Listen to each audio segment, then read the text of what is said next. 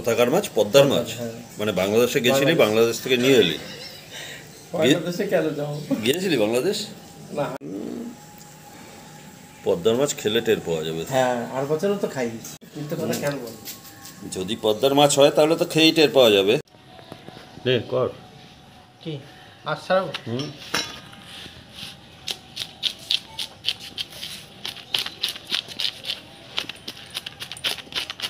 এখনও মাছ ভেজেছি বটিতে কোনো দাগ লাগাবে না।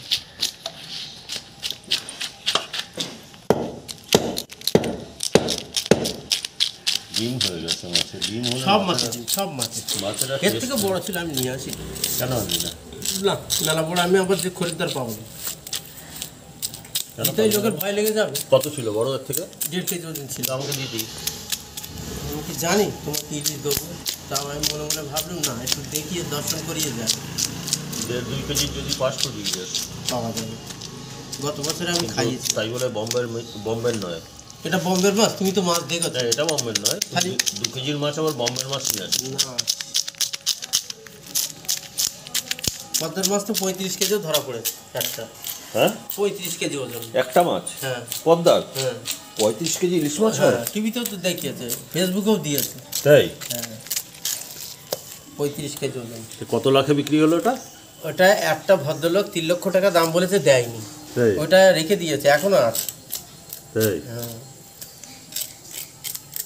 পদ্মা সেই- পদ্মার ইলিশের উপরে পৃথিবীতে কোনো ইলিশ হয় না। না বিশ্বাস জিনিস। তবে তুমি ডিম ডিম পাবা না। ওই মাছ ডিমওয়ালা ছাড়া নেই। আর বছরেও খাইয়েছিলাম এই মাছ আর বছরে না হ্যাঁ আর বছরই হবে। দুটো দিয়ে গেলাম না। সেও তুমি ভিডিও করে রেখেছিলে।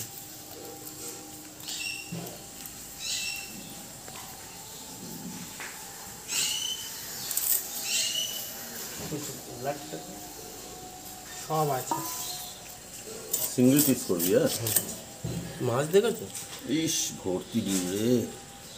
ডিম হোক ডিম পিত্তটা ফেলে দে পিত্তটা ফেলে ডিম হলেও মাছের স্বাদ লাগবে।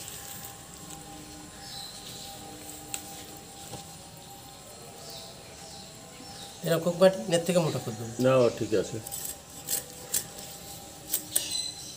রাজভোগ। ইস ডিমে একদম শেষ হয়ে গেছে রে মাছ। এ তো অর্ধেক ওজন ডিমেরই হয়ে গেছে। ইলিশ মাছের ডিম পাওয়া যায় না। আমাদের ইন্ডিয়ায় তো মেলেই না। মাছ কি? বেশি মোটা হয়ে যাচ্ছে। হোক লোক আছে তোমাদের? না সিদ্ধ হবে? না কেন সিদ্ধ হবে? আমি তো মোটা করেই দিচ্ছি। মাছের সম্পূর্ণ তেল হয়ে গেছে। হুম। সম্পূর্ণ তেল হয়ে গেছে এই দেখো সম্পূর্ণ তেল। সাদা ক্রিম বসে গেছে দেখা যাচ্ছে।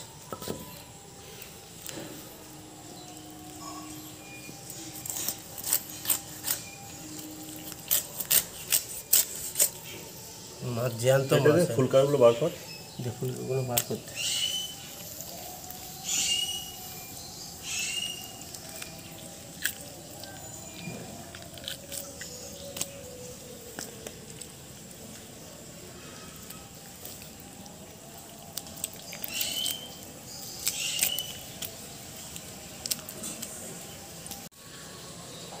মাছের গন্ধ ভালো হয়েছে। একটু দেখো। মাছের গন্ধ ভালো আছে।